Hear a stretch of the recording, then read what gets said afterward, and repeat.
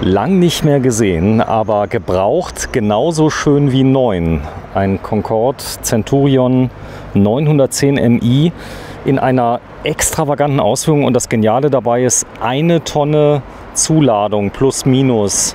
Und ihr habt ihn gewogen, er stand auf der Waage, das sind keine Mondgewichte. Der hat echt eine Tonne Zuladung noch. Genau, so wie er jetzt hier steht, wie wir gleich reingehen. Allerdings ohne Wasser sind 1,1 Tonnen Zuladung bei 7,5 Tonnen. Ja, und das Coole ist ähm, die Ausstattung. Wir haben zwei Klimaanlagen drauf, also die haben an nichts gespart. Hier ist ein Gasgenerator mit drin, hier ist eine Mastervolt-Anlage drin, eine große. Wir haben äh, Full LED, wir haben eine Lederausstattung innen drin. Das Teil ist voll, voll, voll und es hat die Mehrwertsteuer ausweisbar. Ja, exakt. Du hast noch vergessen, 360-Grad-Kamera. Dann haben wir noch einen Abstandstempomat, der frisch reingekommen ist. Der war vorgerüstet. Anfangs von Iveco konnte nicht ausgeliefert werden. Mittlerweile sind die ausgereift, ist jetzt eingebaut. Ja, und ich glaube, Ausstattung, weitere finden wir noch innen drin. Ja, das Spannende hier bei dem Fahrzeug ist wirklich, du hast einen richtigen Luxusliner, der aber von der Zuladung her keine Kompromisse bietet. Das bedeutet, äh, du kannst richtig reinladen, du hast ordentliche Wassertanks mit drin, du hast äh, zentral gesteuerte Klappen, was also auch ein Riesenvorteil ist. Mach mal bitte eine auf, dass wir das mal sehen. Wir drehen uns heute Ende Juni 2022. Der steht jetzt zum Verkauf. Der Preis, was ist er haben? Äh, 399.000 Euro, die geschönte 400.000. So, also deutsche Euro inklusive Mehrwertsteuer. Das ist das Besondere, denn dieses Fahrzeug hat Mehrwertsteuerausweis. Hier ist die Mastervolt-Anlage. Das ist eine AGM-Batterie. Ja, für den Generator. Ne? Für den Generator. Also das ist nicht die Aufbaubatterie. Und das ist die Elektronik aller Concorde vom Feinsten. Denn Concorde baut wirklich tolle Reisemobile. Das Ganze in Aschbach, in Franken. Und man kann wirklich hier reingucken. Du siehst alles, egal was du hier siehst, du kannst da angucken. Das ist die Einspeisung, 230 Volt. Hier sind ähm, Ladegeräte noch mit drin, Booster, äh, Solaranlage hat er wahrscheinlich auch drauf. Ja, hat er auch drauf.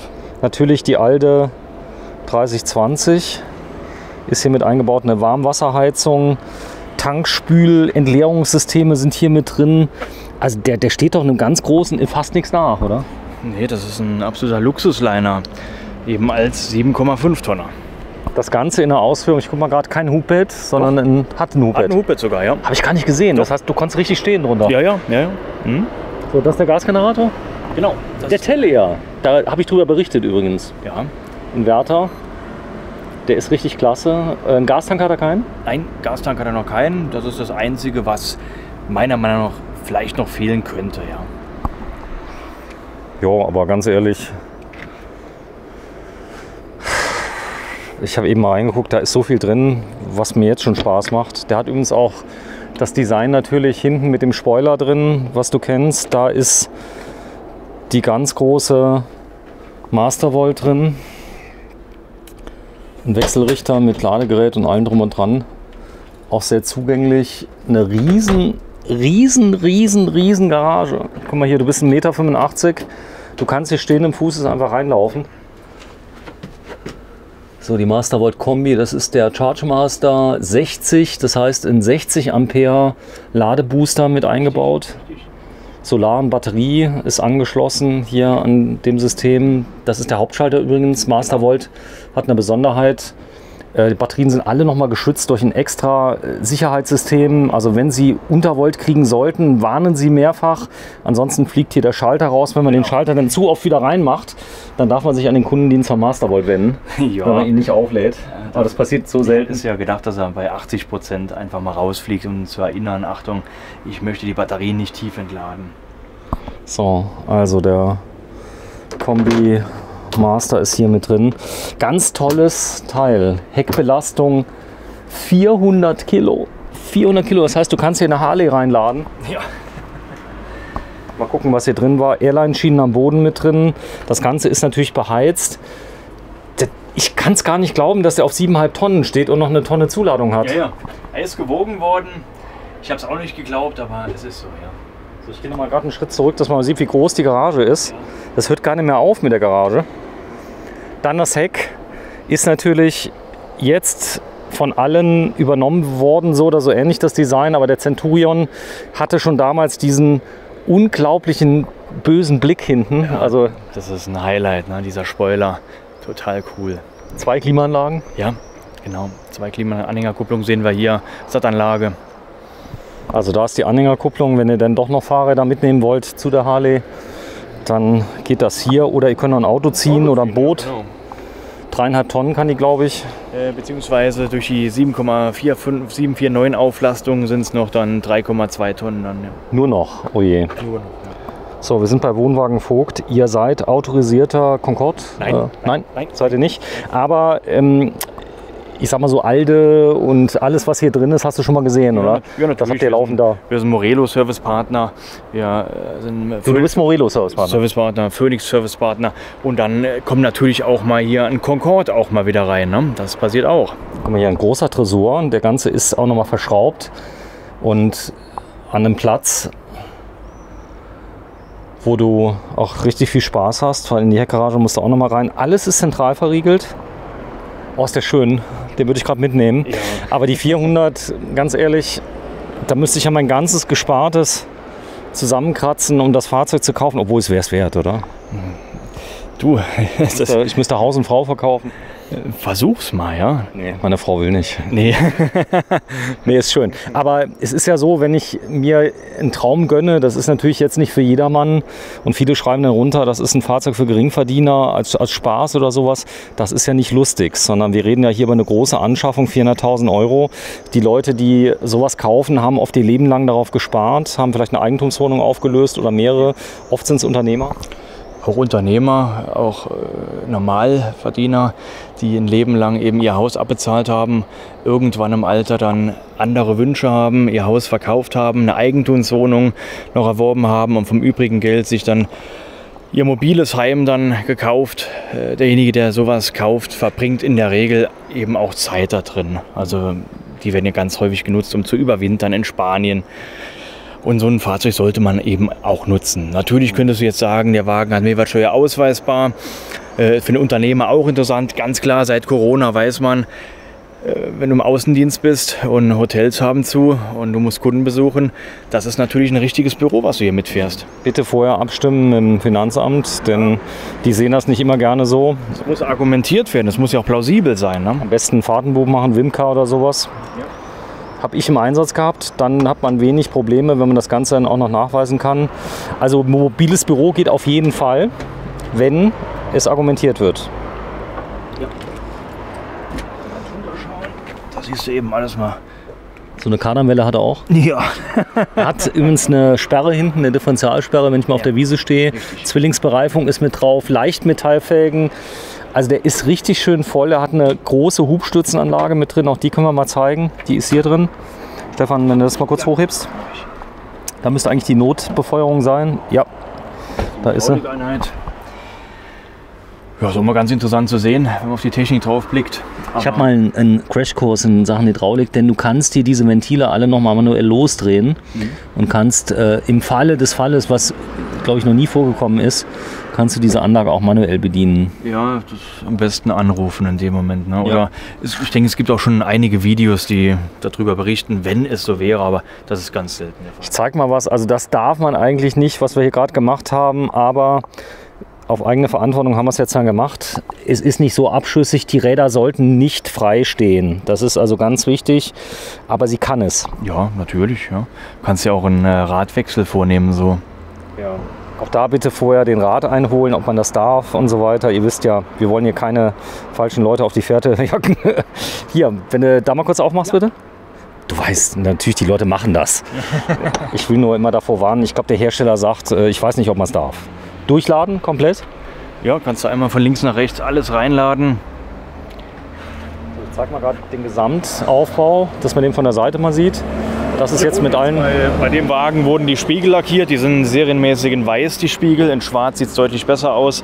Und nach vorne hin wurde auch noch verdunkelt die Front. So, Sie können übrigens die Spiegel auch wieder weiß lackieren lassen. Das äh, wäre kein Problem. Ihr macht auch. Hier, hier wurde nach oben wurde noch äh, lackiert oben. Ne? Jetzt, jetzt äh, wir lackieren noch die Kamera schwarz, weil die würde mich jetzt stören in weiß. Gut, wenn der Kunde es haben will. Oder ist es sowieso so? Ja, da bin ich auch eitel. Ja, schon, ja. Ihr verkauft große Fahrzeuge, euch gibt es seit über 60 Jahren, ihr habt über 50 Mitarbeiter, ihr seid ein Meisterbetrieb. Du hast ganz viele Marken, wir haben es gerade eben schon gesagt, Servicepartner Morelo, Servicepartner Phoenix. Das ist da, die Technik ist sehr ähnlich von Morelo und Phoenix, muss man sagen. Ja. Also die verbaute Technik ALDE, Hubstützanlage EP, Mastervolt, ja, alles was du. die Aufbautür ist sogar dieselbe. Ja, AC Composite, richtig. So, das ist eine digitale Tür, also für alle, die sowas noch nie gesehen haben. Es gibt keinen Schlüssel mehr hierfür. Also man kann über, natürlich wenn man weiß wie, gibt eine Notenriegelung, das werden wir jetzt nicht verraten, wie es geht. Aber man macht das über einen Code auf, den Code kann man selber einprogrammieren. Die hat natürlich eine Sperre, die Tür, warum? Ja, in dem Moment hängt das hier zusammen mit der, mit der Serviceklappe. Und wenn ich äh, das vergesse, dass die auf ist, dann habe ich ruckzuck was vermackt. Und ich kann aber dennoch jetzt über die Sperre hinaus, kann ich eben doch nochmal öffnen. So, jetzt hast du eine Notentriegelung, das ist auch ganz wichtig. Äh, Die kann man von innen öffnen. Wenn jetzt mal nichts mehr gehen sollte, dann kannst du hier vorsichtig ziehen oder auch feste ziehen, das spielt keine Rolle.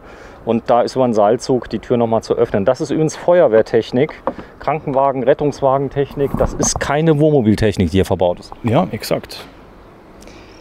So, und die darf sogar feste zugeschlagen werden. Mach mal die feste zu, bitte. Da ist nämlich so, dass äh, der Hersteller sagt, die kannst du leise zumachen, die kannst du aber genauso gut so zumachen. Dafür ist sie gebaut. Macht ja nichts. So, wir gehen mal rein.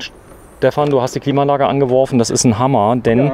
das Fahrzeug steht im Moment tatsächlich auf der internen Batterie mit Solar und du kannst die Klimaanlage auch während der Fahrt laufen lassen.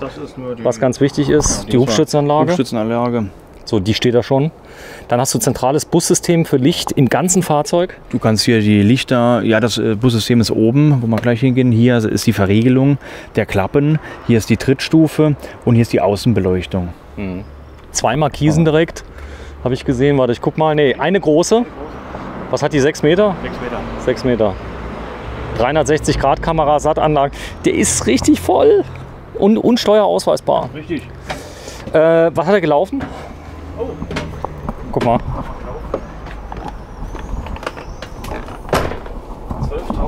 12.240 Kilometer. 12.240 Kilometer. Und ich zeige mal ein kleines Detail. Dieses Fahrzeug ist in der Lage, einen der besten Radiosender Deutschlands zu empfangen, nämlich Saarfunk 1, unser Sender. Wenn ihr mal im Saarland seid äh, und German Television liebt, dann macht bitte Saarfunk 1 an. Du machst da sogar Werbung drauf. Ich Aber Gerade hier rein. schau mal, du kannst hier sogar die 360-Grad-Kamera über einen echt noblen Monitor dann anschauen, der hier integriert ist. Und äh, Du, du kannst von oben drauf gucken aufs Auto, gell? genau jetzt aktuell sind natürlich mit den offenen Klappen sind die Kameras ein bisschen eingeschränkt, aber ansonsten das funktioniert tadellos. Das Cockpit ist ja speziell von Concorde angepasst worden. Also das ist von der Optik her was ganz Feines, beledert hier sogar. Gut, wir sind ja auch im Centurion, das ist so die Königsklasse in der 7,5 Tonner, oder? Du hast es gesagt, ja. Schau mal, da ist noch der, der Abstandstempomat. Der So, Sensor. Ganz tolle Sache übrigens. Du hast ähm, Scheibenwischer, die auch dem Beifahrer perfekte Sicht bieten, weil üblicherweise sind ja Scheibenwischer immer nebeneinander angebracht, sodass das Wischfeld auf dem Beifahrerseite dann schlecht ist. Das ist hier nicht der Fall. Das ist ein richtiger LKW-Wischer. Du kannst als Beifahrer genauso gut rausgucken wie als Fahrer, wenn es regnet. Jena Soundsystem, schau mal, Ja. ist mit eingebaut. Ja, das ist ein sehr gutes Gerät, ja. Luftschwingsitze, guck mal, wenn du mal kurz hochgehst. Du, du hast Luftschwingsätze wie beim LKW, sind auch die gleichen Isri-Sitze, die da sind, das Ganze beledert. Ja Das jetzt Hubbett- Stehe ich unterm Hubbett, ne, mit 1,85 Meter, geht gerade so, aber funktioniert, stört nicht. Ja, Hubbett mit drin, ich zeig das mal gerade. Hier war wahrscheinlich jemand unterwegs, auch mal mit einem Team und so weiter, wo mehrere Leute schlafen können, denn du kannst vorne einen eigenen Bereich bilden. Hubbett zeigen wir gleich mal. Äh, den Frontsitz kannst du drehen eigentlich, den Fahrersitz? Ja, natürlich. Lenkrad ist übrigens abnehmbar. Ja, das sollten wir vielleicht auch machen. Aber Oh, das geht aber so. es müsste knapp so gehen. Einmal zurück und dann Lehne runter. Dann können wir es austricksen. Ne? So, ist lang für. für Das geht. Ah, es geht. Okay, wunderbar. So, denn das Ganze ist noch abnehmbar. Auch der Tisch ist absenkbar. Das heißt, du kannst aus diesem Tisch eine Sitzlounge machen und hier auch nochmal Leute schlafen. Jetzt kommt aber der Oberhammer. Hier ist der Fernseher übrigens. Da haben wir natürlich Die Kollegen vom ZDF laufen. Hallo. Drehscheibe läuft gerade. Aber das sind Lounge-Sessel. Zeig mal bitte. Die kannst du rausziehen, Rausziehen. und lümmeln. Toll, hier vorne. Das Leder fühlt sich unglaublich sehr hochwertig an. Das hier, ja. Es ist so, du, du kommst da hin und es fühlt sich an wie so eine ganz hochwertige Rolf-Benz-Couch. ja, wirklich, ist ganz fein anzufassen, das hier. Aber auch alles, ne? Schau dir mal die, die Edelstahl, die, Edelstahlabsetzung an. Das passt einfach. Das ist ein ganz edles Fahrzeug, das hier. Und das Bad, glaube ich, wenn wir das nachher sehen, das ist mein persönliches Highlight mit dem, mit dem Bett zusammen. Ein Raumgefühl. Total krass ist, ist, die haben die Klimaanlage komplett integriert. Komplett eingebettet, ja. ja. Das ist wirklich richtig schick.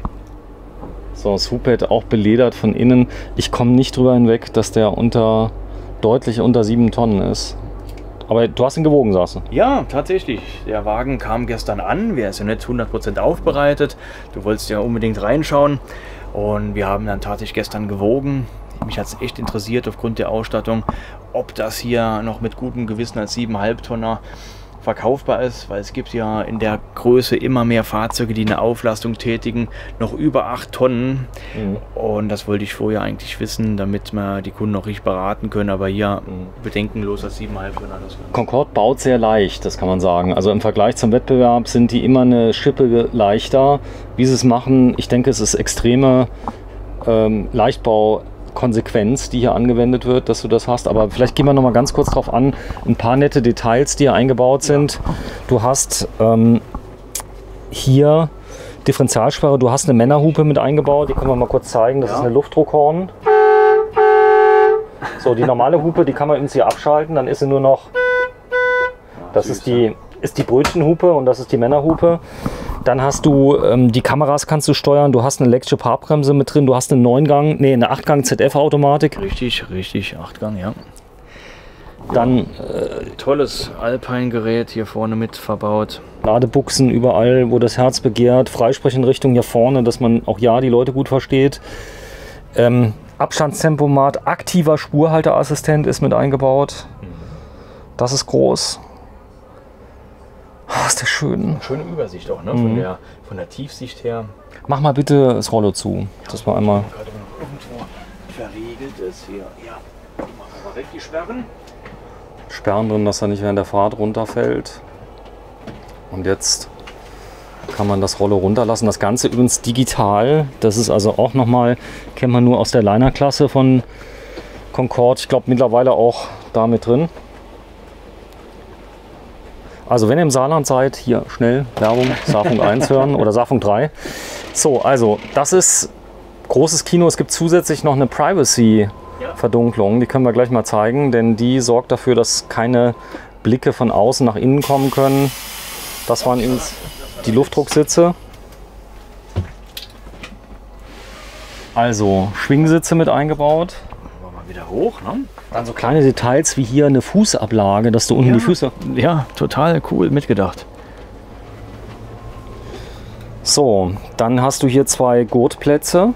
Das heißt, hier können noch zwei Leute sitzen. Die sind auch versteckt hier hinter. Können wir gerade mal zeigen. Kann die mal so leicht anheben. Da sind die Gurte drin. Und da ist ein Gurt.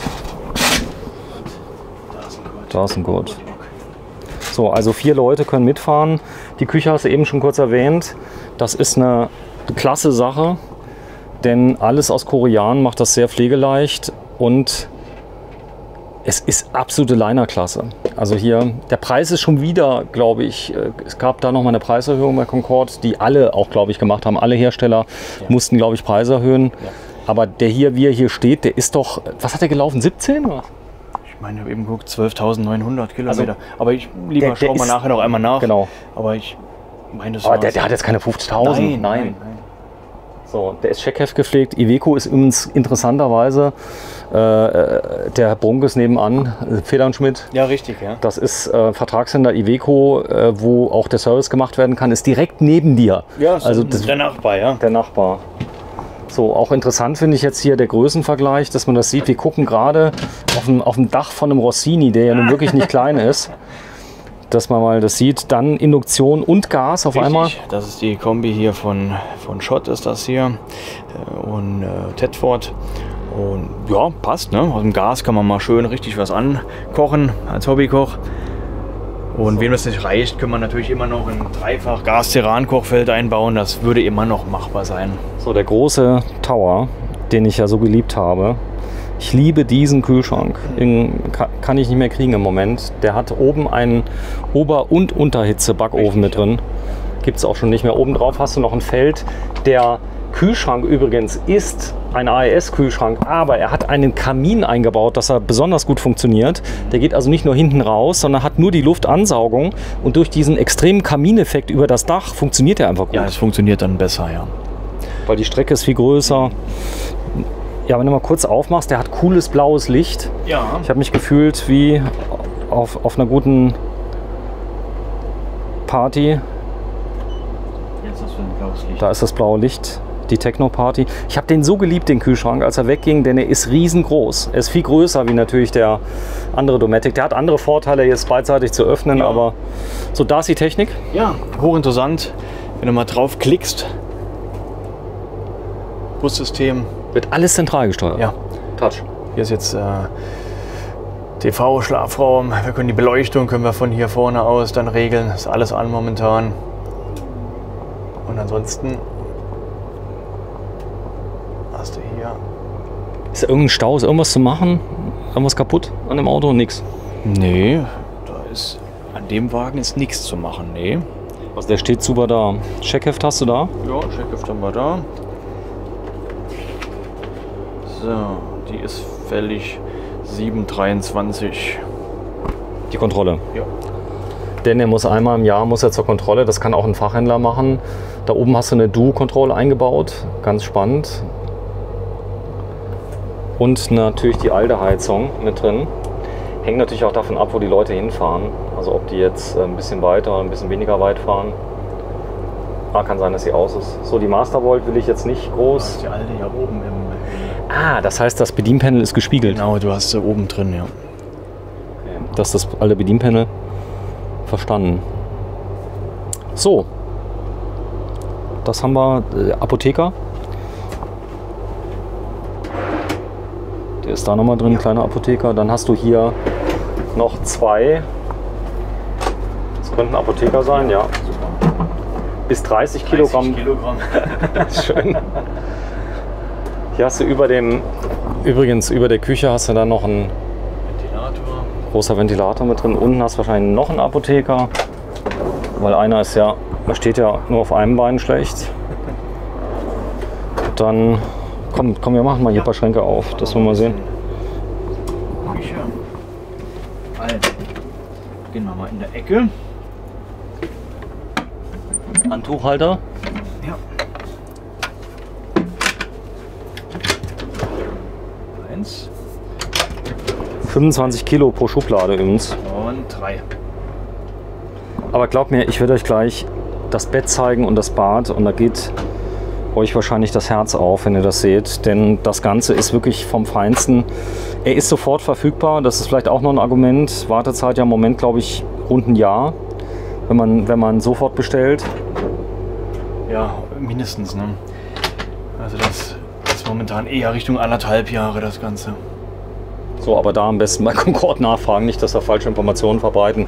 Manchmal geht es schneller, manchmal weniger schnell, aber ich habe zumindest auf meinen jetzt rund ein, ein Jahr gewartet. Der kommt ja im November, kriege ich einen Concord. Mhm, Was ich weiß, ist, dass die Dailies aktuell komplett im Lieferverzug sind und das merken wir bei vielen Herstellern. So, und dann Ablagefach beledert drunter durchgehend. Guck mal hier, das ist so ein, so ein, ein karamellfarbiges Leder von der Verarbeitung her. Nee. Die Kaffeemaschine? Die Kaffeemaschinenposition, ja. da kommt ja diese kleine Espressomaschine rein. Pixie kommt da rein. So, da ist die Kaffeemaschine. Elektrisch fährt sie rauf und runter. Dann schade, dass sie keine Steckdosen sind, Stefan. Schade, Denn schade. da hätte man wirklich nachrüsten können. Aber nein, ein ganzer Steckdosen-Tower. Zack. Da sind drei Steckdosen drin, wie man das kennt von der Luxusküche. Jo, also doch leider Steckdosen drin, ne? Ich hätte auch nichts anderes erwartet. Cool. Komm, wir gehen mal ins Bad. Ja. Schiffsbodenoptik übrigens, wenn wir gerade dabei sind, Ja. ist mit drin. Und hier Carrara Marmor. Carrara Marmor. Optik. Optik. Aber sieht verblüffend echt aus. Mach mal zu, bitte, die Zwischentür. Zu uns hier. Ja, da kann man nämlich zumachen, wenn man mal Pipi macht oder aufs Klo geht. Die Tür einfach schließen und zumacht. Und dann kann ich mich komplett vereinzeln. Das Unwort des Jahres 2022, Vereinzelung. Boah, ist das schick hier mit der Edelstahloptik. Ja. Dann das ist ein Heizkörper übrigens. Ja. Ein Flächenheizkörper dahinter. Hat man bewusst auf diese ähm, Rippen verzichtet, damit ähm, man das einfacher reinigen kann. Du weißt selbst, der Staub, der lagert sich immer auf den Rippen ab. Ja, gerade hier bei Metall, es ist ja wie ein Magnet. Guck mal hier, das Waschbecken. Ja, ist einfach richtig schön. Das Wer hat die denn hingestellt, die Blümchen? ja, die hat hier unser Reinigungsteam, damit wir ein bisschen Deko. So, und dann großer Spiegelschrank. Den können wir mal aufmachen. Das ist also überall für Zahnbürsten und alles, was das Herz begehrt. Komm, komm, wir zeigen uns einmal für die Zuschauer Ja. zusammen. einmal Stefan und äh, Sven. So, Hi. ich habe meinen Namen fast vergessen. Das ist eine Schiffstoilette hinter dir. Ja. Da wird zerhackt. Es gibt einen Festtank. Das ist vielleicht auch was Besonderes für viele, die nur die Kassettentoilette kennen. Dort äh, landen einige hundert Liter Fäkalien. Das Ganze umweltgerecht. Ähm, gerecht. das ist dann Gülle quasi. Ja, das ist zerschreddert und ich finde es eine ganz saubere Sache. Die hat ja auch noch einen Sog dabei hier, ist ja auch noch hier dran. Also wenn du irgendwas machst, dann wird abgesaugt. Dahinter ist ein Kleiderschrank hinter dir. Ja. Endlich mal ein Wohnmobil mit Kleiderschrank. Boah, da kannst du ja dich, dich mal reinstellen, wenn du irgendwie. Genau. Das ist echt riesig. Verstecken spielen hier. Und Teppiche sind dabei, dann die große Dusche. Äh, Teppich ist aber nur jetzt hier ein Stück dabei. Also die Komplettsatzteppiche habe ich jetzt nicht gesehen. Ne? So, Regendusche, die Ja. ist da oben übrigens. Ja, ich denke, ich Schau mal aufmachst. Ja, stell dich mal rein, vorsichtig. Unerlaubterweise rein. mit deinen neuen On. Der wird komplett noch aufbereitet. Also das äh, vielleicht als Hinweis. Ich gehe barfuß rein. Ich bringe Ja. nicht übers Herz hier. Das, Ehrfurcht vor. aber das ist toll. Ne? So, du bist 1,85 Meter. 85. 80 und kann unter der Regendusche richtig stehen. Ne? Ja, du hast auch genug Volumen. Meistens haben die Fahrzeuge 300 Liter. Ich habe genug Volumen. Nein, die Fahrzeuge an Wasser. Ich würde dir niemals sagen, dass du genug Volumen hast. Da ist übrigens was Interessantes. Unter dem Bett ist ja die Garage. Ja. Wenn du mal gerade mal anhebst, da dürfte nämlich nichts drunter Du sein. merkst es ja nicht. Ne? Nee. Das ist ja so schön gemacht hier. Guck mal, jetzt ein schönes Detail. Ich zeige mal da drauf. Siehst du das? Siehst du da dieses Oh, ja. Leichtbau? Siehst du das? ja. Mit den Waben? Sensationell, ja. Da fragt man sich, wie man Gewicht sparen kann. Das ist alles extremst Leichtbau, aber durch die Wabentechnologie natürlich unglaublich haltbar. Stefan, der gefällt mir. Ich, der ist so, also wo du denkst, so unter 7,5 Tonnen, viele haben ja noch den alten Wir stehen hier auf Alten Dreier. aufrecht mit. aufrecht unter der Garage. Super. Du bist 1,85 Meter, kannst aufrecht stehen Genau. im Schlafzimmer. Gut, das geht spätestens hier nicht mehr. Aber bis dahin einsteigen geht. Das Bett, du hast jetzt gerade Strümpfe an, geh mal drauf. Ja. Ah, ich sehe schon, wir machen jetzt Feierabend. Ich schlafe vorne, du hinten. ja. Das Schöne ist natürlich an der Klimaanlage hinten, dass du nur hinten klimatisieren kannst und dadurch natürlich unglaublich viel Energie sparst. Dadurch, dass sie während der Fahrt geht, kannst du an heißen Tagen auch die Klimaanlage mitlaufen lassen. Dann hier auch diese ganze Verdunklung. Ja, super. Also, gefällt mir persönlich richtig gut, der Wagen hier. So, dann kommt es noch besser. 32 Zoll. Ja. Alphatronics. Ich bleib gerade hier. Ton habe ich mal ausgemacht hier bei unserer Doku. Soundsystem Aber drunter. Soundsystem drunter. Da noch ein Schrank. Guck mal. Mach mal auf bitte. Dann bleibe ich mal hier. Das ist der Blick. Jetzt wird es eng mit deinen Knien. Ja, ich gehe mal. Oh, der ist aber groß. Warte mal, ich zeig das mal. Also nochmal ein großer Kleiderschrank hier.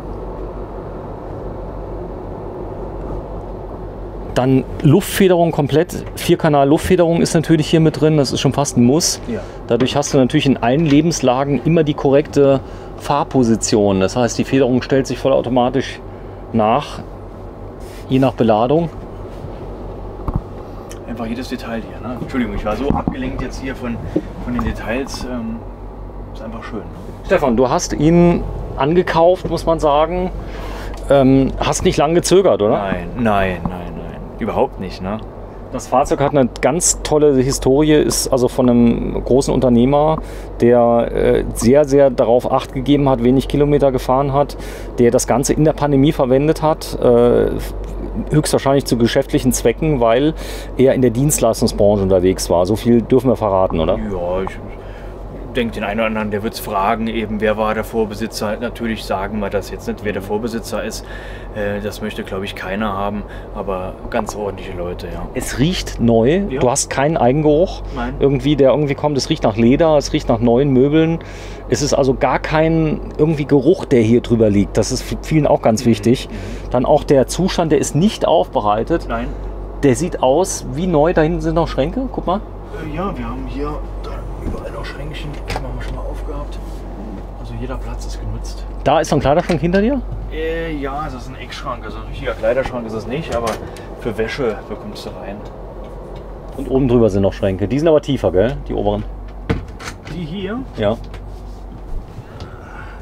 das ist ein richtiger Oberschrank, so, Richtig. so ein typischer Dachoberschrank. So, das ist die Klimaanlage. Da ist zwar eine typische Klimaanlage drüber, aber du siehst sie nicht. Dadurch hast du natürlich von der Optik her eher so praktisch Hotelcharakter und gar nicht so diesen Charakter, ähm, dass du in einem Wohnmobil bist, oder? Ja, es ist auch total irritierend, weil das Bett ja hier quer eingebaut ist und die Klimaanlage oben drüber gerade eingebaut ist. Ich glaube, die hätten das gar nicht machen können ohne, ohne, ohne diese Abdeckung. Das würde so irritieren mit diesem Bett. Ich habe mal äh, den Marketingchef von Concorde gefragt, warum das so ist, warum das Bett quer ist. Er sagt, du hast viel mehr Platz durch die Quereinbausituation. Ja, gebe ich recht, ja. ja. Und sieht gigantisch aus. Stefan, Ja. 399.000 Euro. Äh, wer will, kann das Ganze finanzieren. Er kann auch einen Teilbetrag haben. Viele machen eine Teilfinanzierung. Ja. Also da, da langt vielleicht die letzten 100.000 Euro hat er halt nicht. Dann äh, geht das noch zu einigermaßen guten Zinsen im Moment. Die waren nie perfekt, die Zinsen, was den Bereich angeht für, äh, für nicht ähm, hypothekengedeckte Darlehen. Also die sind nach wie vor irgendwo Bei sechs? Zwischen, nein, irgendwo um die 4%. Ne? Das geht ja noch. Also Ja, ab, wenn aktuell der Darlehenszins äh, für 10 Jahre äh, für Grundschulden, sind wir auch irgendwo in dem Bereich. So, aber man sollte vielleicht nicht zu lange warten, weil das ist eine recht dynamische Entwicklung im Moment mit den Zinsen, so leid es mir tut. Ja. Ja, heute der 29. Unser Hubert, das wollten wir noch gucken, gell? 29. Juni 2022. Die zwei Klimaanlagen braucht es. Glaub mir, mit einer Klimaanlage wären wir heute nicht klargekommen. Ja, Wirklich nicht. Heute äh, ist zu warm hier. So, Licht gesamt. Das ist jetzt nochmal Gesamtansicht Küche hier von der Seite. Ich fasse mal gerade so ein bisschen ab, dass man es mal erahnen kann, ohne dass wir alles umbauen müssen. Großes Hubbett. So ein bisschen runter können wir es machen. Ich glaube, es ist sogar noch größer als hinten das Bett. Und äh, können also zwei Leute mit zwei Meter mal, ich glaube, 1,60 Meter 60 hat das. Hier können richtig schlafen mit Lattenrost, allem drum und dran, elektrisch natürlich. Und das Allerwichtigste ist natürlich bei dem Fahrzeug, wenn ihr ins Saarland kommt, müsst ihr Saarfunke 1 hören auf DAB. Das Ganze geht, nee, Spaß beiseite. 399.000 Euro. Alle Fernbedienungen sind mit dabei. Ein Jahr Garantie gibst du drauf.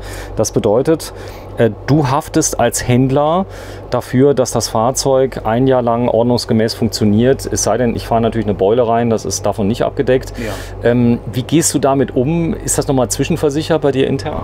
Also das ist jetzt nicht zwischenversichert, aber wir bieten es auch an. Also wer möchte, kann das Ganze auch auf drei Jahre verlängern und da gibt es eine Versicherung dafür. Das heißt, derjenige kann quasi eine Garantie erwerben, sogar für relativ moderates Geld. Das, ist gar nicht so teuer. moderat, ja. Das liegt irgendwo um die 1000 Euro, das Ganze.